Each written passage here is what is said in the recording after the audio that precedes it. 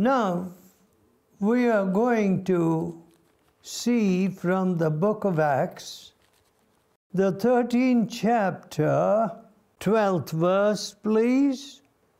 Then the deputy, when he saw what was done, believed, being astonished at the doctrine of the Lord. You see, folks, there was a demonstration of God's power when this astrologer or this uh, sorcerer was struck blind and could not even leave the court. He needed the assistance of somebody to lead him out. Well, they departed next to Perga and went into the synagogue on the Sabbath day. And after the reading of the law, Paul stood up. They invited him to say a word of exhortation. Then Paul stood up and beckoning with his hand said, Men of Israel, and you that fear God, give audience. And when he went on to declare Christ, then 41 Behold, ye despisers and and wonder and perish. For I work a work in your days, a work which ye shall in no wise believe though a man declare it unto you. How amazing! Despisers of God's word. No, you cannot discard God's word that easily. So the congregation broke up. Many of the Jews and religious proselytes followed Paul and Barnabas, who, speaking to them, persuaded them to continue in the grace of God. 44th verse The next Sabbath day came almost the whole city together to hear the word of God. And when the Jews saw the multitudes, they were filled with envy and spake against those things which were spoken by Paul, contradicting and blaspheming. And Paul and Barnabas waxed bold and said, It was necessary that the word of God should first have been spoken to you, Jews. But seeing you put it from you and judge yourselves unworthy of everlasting life, lo, we turn to the Gentiles. So, you know, actually, what happened at after this great missionary drive. The 50th verse says, The chief men of the city and raised persecution against Paul and Barnabas and expelled them out of their coasts. You're just not wanted here.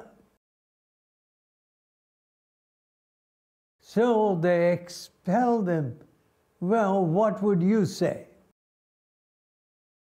If after hard labor and honest labor, you found yourself rewarded this way, what would you say?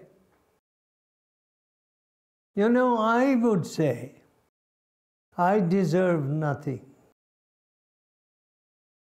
It is just a privilege to serve the Lord. In certain places like Bangladesh and uh, nowadays they want to receive me with bouquets. I say, have I declined to that degree? That I don't get brickbats instead? These early preachers of the good news were rewarded with brickbats. You see, and the next place you will find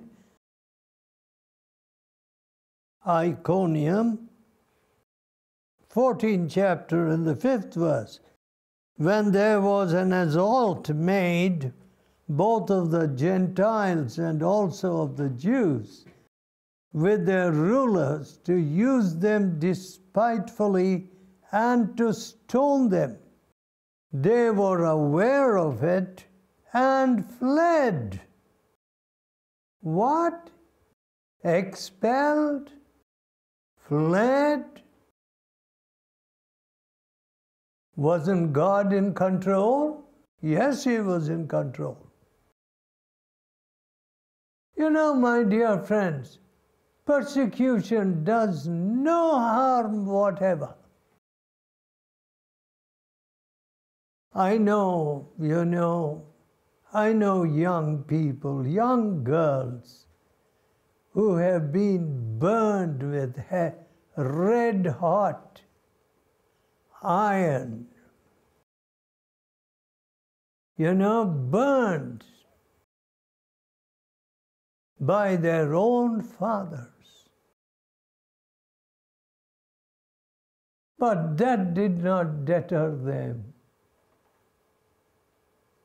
They only became stronger in their faith. You see, as a matter of fact, we've been cuddled too badly. We've had it so easy. We've known little persecution. You see? Blessed are you when all men shall speak evil about you. You see? As a matter of fact, we, we love praises, isn't it? But Praises don't do any good. Applause doesn't do any good to us. What are the marks that God would give you? You see, loving God and loving your neighbor. These go together. And failure to reach souls is a serious thing. I, you know, when I was told in, uh, in East Germany at the height of their communism, a dear old lady said to me, I live in an old people's home and even when a person is dying, we are not allowed to talk about Jesus Christ. And when did Britain get worse than that? When nurses and doctors can't talk about Jesus Christ. Why? What a sad is this Britain at all? Is there freedom of speech?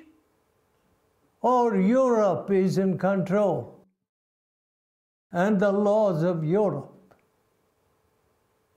Europe has had a different history.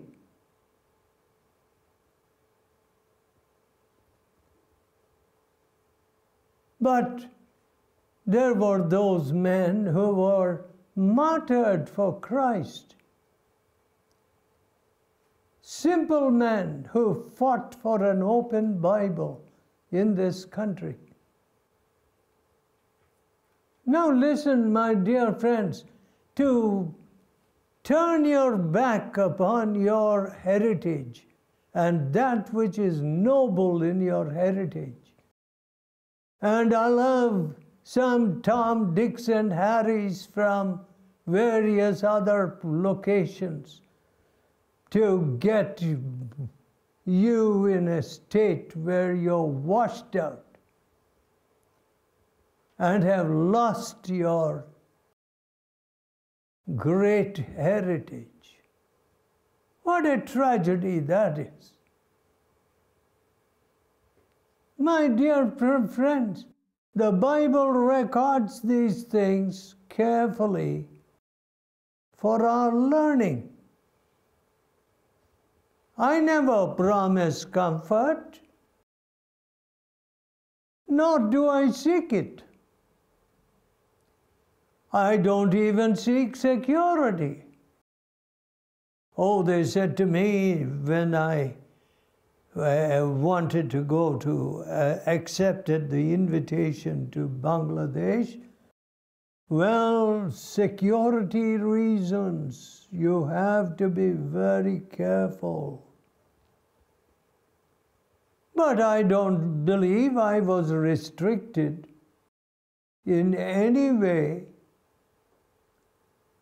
In fact, I told the preachers, the uh, and leaders that God will give them courage to stand for the truth in the midst of persecution and danger. All right, today Islam is causing Britain to bend over backwards to please. What sense is there in it? All right, look at the record of history. 22 women, and you still call a man a prophet?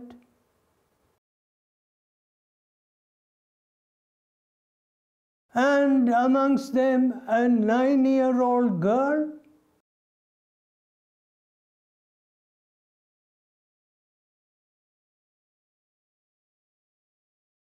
And still you can terrorize the world saying that you have a higher morality. That shows, of course, the declension in the morality of the West. It's all over the world today. Thanks to Hollywood and so on. But what kind of uh, Christians will arise? You know, these things only strengthen your muscle and your determination to stand for Jesus. Now, friends, The Bible says in the 14th chapter and the third verse, Long time therefore abode they speaking boldly in the Lord, which gave testimony unto the word of his grace, which gave testimony unto the word of his grace, and granted signs and wonders to be done by their hands. Who is to give testimony? Who is behind your testimony? It's the Lord. The Lord gave testimony. The Lord just did not leave these people out on a limb. You know, we don't like to be left on a limb, do we? The Lord is my helper. The Lord is my shade upon my right hand. The sun shall not smite you by day, nor the moon by night. A thousand may fall at your side, and ten thousand at your right hand, but it shall not come nigh you. My dear friends, what are these promises for? The Lord says, I am going to be the one that will back you, that will give you testimony that you're mine. My dear friends, I can't forget. Certain things have taken place in the communist countries which are simply so remarkable and uh, like some people were taken to some of the coldest regions of the earth in Siberia. And, and all their clothes were removed. And while their persecutors expect they expected them to fall dead in a few moments, they stood untouched. And of course, the communist mind denies the supernatural. And some of them had no explanation. They said, What is this we are seeing? Not a stitch of clothing on these people in this freezing weather when they should be dead in a few moments. Here they stand untouched, unperturbed and some of them were women. You see, we don't expect God to bear any testimony. It's very sad. We have cranked up a church situation where we are the big fellows. What? You and I should just sink into that platform. And so that Christ only must may be seen. You know, my dear friends, with all the fancy degrees that people have today, you know, it only makes them proud and top heavy. That's all. They can't be humble. They can't say, Lord, you bear testimony. I am nobody around here. What? Can't we be humble?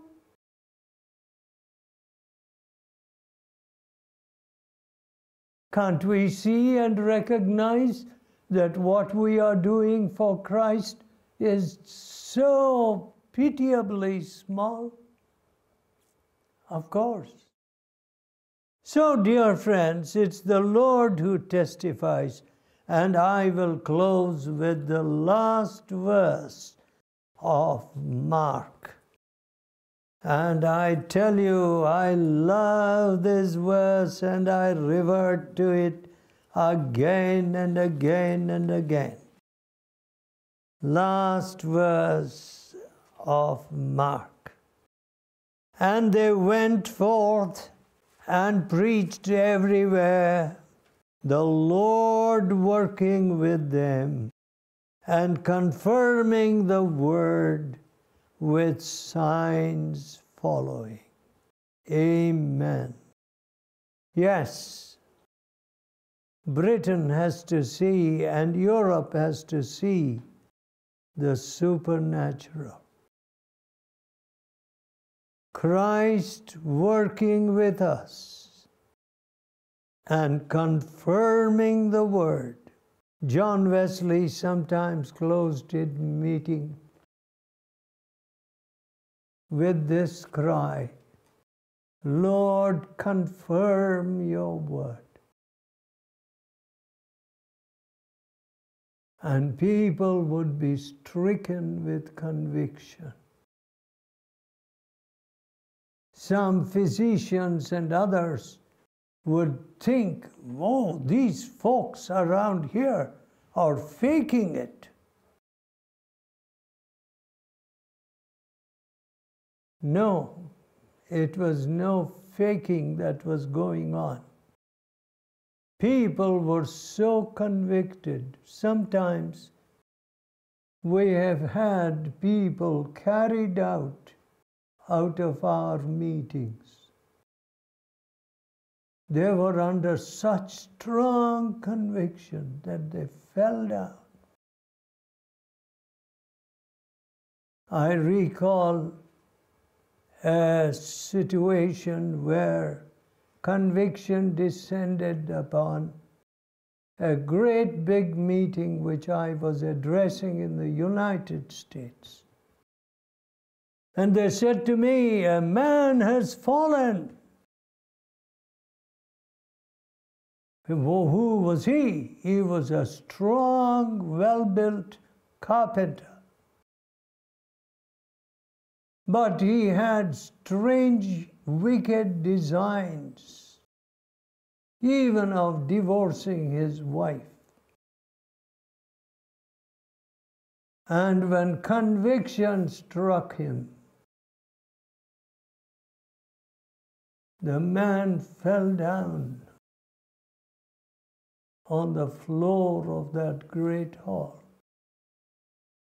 Now, my dear friends, we need God to work. It's not a question of hours talking and any number of words. Let's see God at work. Let us pray.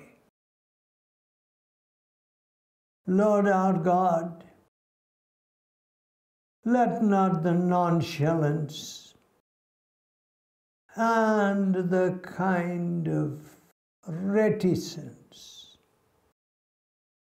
which is prevalent amongst the people of the country, the inhabitants of the country. The cold indifference be a hindrance, I pray. O Lord our God, let there be freedom of expression. Let not the law books that carried such noble laws become sullied and dirtied with this kowtowing to the gutter, to the sewage. Oh, my Father, let the people come to themselves.